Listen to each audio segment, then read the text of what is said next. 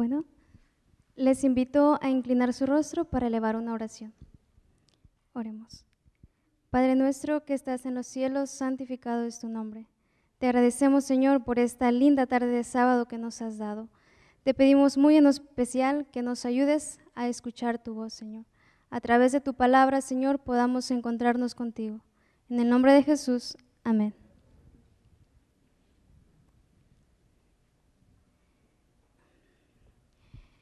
Uno de nuestros mayores desafíos, el mayor desafío que nosotros tenemos es el de evangelizar.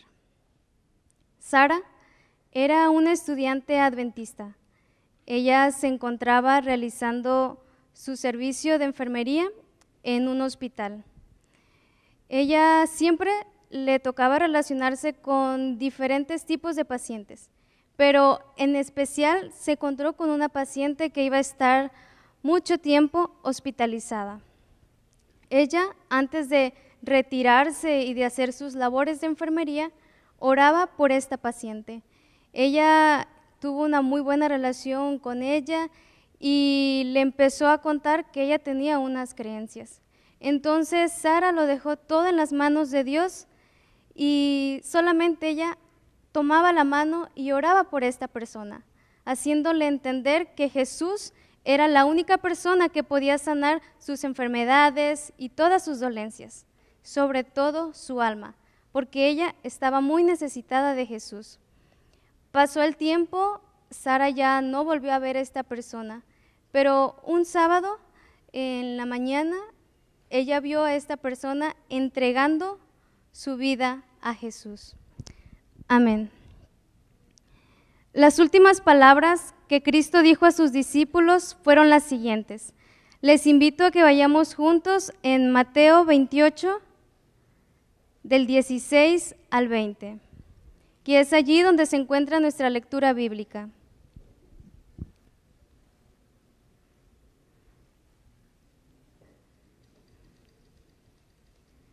Mateo 28, del 16 al 20. Pero los once discípulos se fueron a Galilea, al monte donde Jesús les había ordenado. Y cuando le vinieron, le adoraron, pero algunos dudaban. Y Jesús se acercó y les habló diciendo, Toda potestad me es dada en el cielo y en la tierra. Por tanto, id y haced discípulos a todas las naciones, bautizándolos en el nombre del Padre, del Hijo y del Espíritu Santo, enseñándoles que guarden todas las cosas que os he mandado. Y he aquí, yo estoy con vosotros todos los días hasta el fin del mundo. Y estas palabras son las que Cristo nos está diciendo también a nosotros. Se nos da a todos esta gran comisión. Dios desea que avancemos cada día como sus mensajeros. Desea que podamos enseñar y persuadir a las personas a creer en el nombre de Jesús. Muchas veces tendremos dificultades y cualesquiera que fueran esas pruebas, esas luchas, porque a veces nosotros estamos aquí para prepararnos para cumplir la misión que Dios tiene para nosotros. Pero cuando nosotros vamos o nos pide Dios que vayamos, a veces tenemos duda y a veces tenemos muchísimo miedo. Es allí cuando nosotros debemos de hacer nuestra la promesa que Dios estará con nosotros todos los días hasta el fin del mundo. Cuando Dios estaba dirigiendo este mandato a sus discípulos, no solo estaba dando una idea, sino que les estaba dando un mensaje, que enseñaran las personas a su pueblo dijo, que guarden todas las cosas que os he mandado. Los discípulos debían enseñar lo que Jesús les había enseñado a ellos, el perdón, la humildad, restauración y que solo en Cristo hay salvación. No solo eso, sino también lo que él había dicho a través de sus profetas y maestros en el Antiguo Testamento. Esto incluía también la enseñanza humana. Estamos viviendo en los acontecimientos finales de la historia de este mundo. Cada uno de nosotros tenemos una gran responsabilidad de ir y evangelizar a las personas, aquellas personas que están a nuestro alrededor.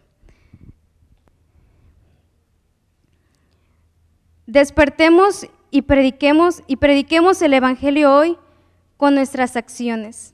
Seamos personas diferentes porque es Dios quien habita en nosotros. Aceptemos nuestros fracasos realizados con nuestros propios esfuerzos y recibamos el poder que viene de lo alto para terminar la obra del Evangelio en este mundo.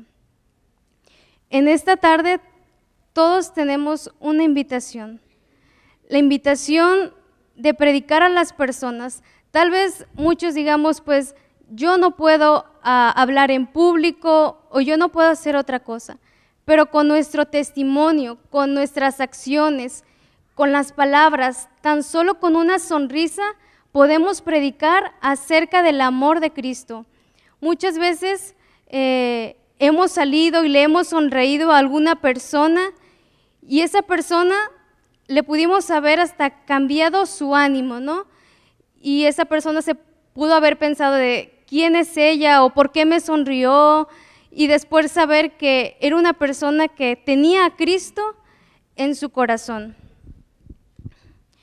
Todos, creo que todos nosotros conocimos el Evangelio a través de una persona, a través de un libro, alguien nos habló de Cristo. Nosotros también lo debemos de hacer con tanta fe, con tanto oh, sinceridad de que Dios estará realmente con nosotros. Les invito a que pongamos a Dios en primer lugar que le aceptemos a Él, que simplemente nos dejemos, dejemos ser, simplemente que podamos ser usados por Dios con nuestros dones y los talentos que Él nos ha dado. Amén.